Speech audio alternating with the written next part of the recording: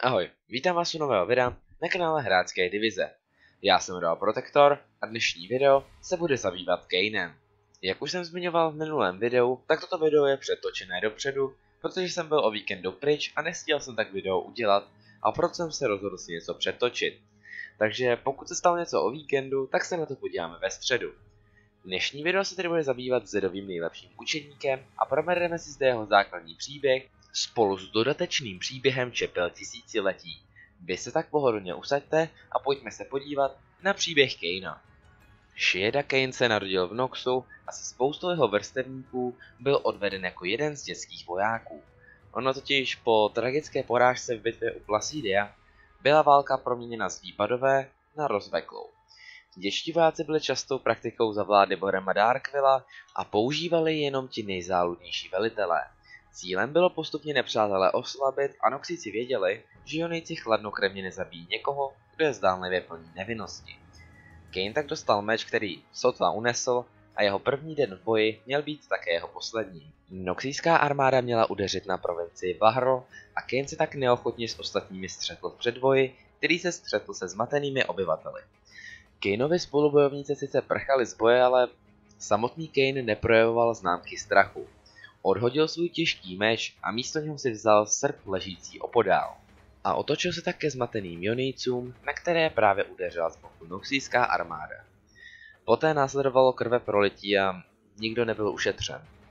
O dva dny později na místo útoku dorazil stínový řád a Zed si všiml, že Noxícům šlo jen o to ukázat, že nemají s nikým slitování.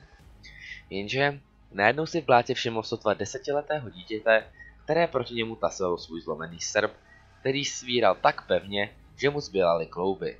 V jeho očích Zed viděl jak neskutečnou bolest, tak i zuřivost docelenou bojem. Zed v něm spatřil zbraň, kterou by mohl otočit proti Noxícům, co ho sem poslali a přijmout toho tak do svého řádu. Normálně se učeníci učili s jednou zbraní roky, ale Kane si dokázal naučit se všemi zbraněmi, protože pro něj to byly pouze nástroje, vzhledem k tomu, že on byl skutečnou zbraní. Kane ani nenosil zbroj, protože to pro něj bylo břímě. Raději se schovával ve stínech a zabíjel pomocí své mršnosti. Tyto bleskové popravy probouzely strach v srdcích lidí, které Kane ušetřil. Avšak s jeho vyhlasem mu vzrostla i arogance. Kane se i díky své píše rozhodl učinit poslední zkoušku, a to najít zbraň Darkinu, která byla nedávno objevena v Noxu. Svůj úkol přijal bez zaváhání a i přesto, že každý jiný učedník by onou kosu známou jako rást zničil, tak Kane si ji přivlastnil. A jakmile kolem ní sevřel své prsty, tak do ní pronikla jí temná podstata a od té doby spolu svádí osudový boj o Kaneovo tělo. Přeci jen ráz dlouho čekal na vhodného hostitele, aby se opět mohl připojit ke svým darkinským bratrům. Avšak Kane se nenechá jen tak podmanit. Triumfálně se vrací do Onie a předpokládá, že jej Zed jmenuje novým vůdcem stínového řádu. Tak, a to je tedy základní příběh Kejna. Jenom bych teda doplnil, že ona Kaneova arogance dostala tak trochu retcon, nebo aspoň to tak vypadá, v Zedově komiksu, kde Zeda respektuje a nikdy by ho nezradil. A pokud chcete vidět o komiksu víc, tak o něm máme vlastně celé video a co vlastně samotný komiks dost doporučuji. No, ale my se teď pojďme podívat na to, jak přesně Kane dostal Rásta do svých rukou v příběhu Čepel tisíciletí. Příběh začíná ve stínu brány Noxtora a Kane zde stojí obklopen mrtvými vojáky. Pousmál se na tu ironii, že pod bránou, která má vlastně představovat sílu Noxu, tak ta stejná brána, která má vlastně představovat tu sílu, se právě stala náhrobním kamenem, který znázorňoval strach padlých válečníků. Kane miloval strach. Byl jeho zbraní stejně jako pro ostatní ze řádu šurikeny nebo katany. Jak tak ovšem stál uprostřed pobytých nepřátel, tak se ho začal zmocňovat neklid, protože poprvé za dlouhé roky měl pod nohami noxijskou půdu. Nakury, což byl další učedník řádu, se připravoval již na něco osobnější boj a zeptal se Kejna, co bude dál. Kane mu neodpověděl a ruce měl svěšené podél těla. Z prázdného místa mezi nimi se ozval hlas. Temný a plný nenávisti, tvořený ozvěnami bolestivých nářků z tisíců bojišť, jež je oba vyzýval k činu. Který z vás je mě hoden?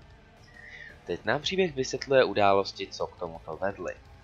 Zed jsem poslal svého nejlepšího studenta, protože Noxy si našli prastarou darkinskou zbraň, a s její pomocí chtěli zničit Jony. Vzhledem k tomu, že zatím nikdo z Noxiců nebyl hoden zbraň držet a přežít, se rozhodli poslat do nesmrtelné bašty.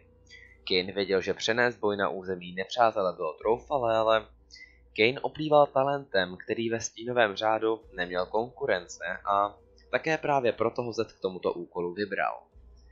Kane svou past nachystal krátce před západem slunce a poté se za pomocí stínu přesunul do kamenného bloku, aby se skryl z raku prvních vojáků. Ze stínu koukal na patrolující trojici vojáků a následně během okamžiku dva z nich zabil. Jakmile se první voják otočil, tak si Kane vychutnával jeho strach a poté vklouzl do stínu, jenom aby se objevil přímo před Noxícem, kterého nechal žít, aby mohl ostatním říci, čeho byl právě svědkem. Jakmile ale voják utíkal, tak ho najednou probodla katana dalšího žáka stínu, Nakuriho. Kane nebyl rád, že je zde a chce tak získat podíl na jeho slávě, ale vzhledem k blížícím se vojákům se oba schovali a Kane se s ním chtěl vypořádat později. Karavana poté přišla pod bránu a jakmile si všim letěl, tak se seskupili do formace.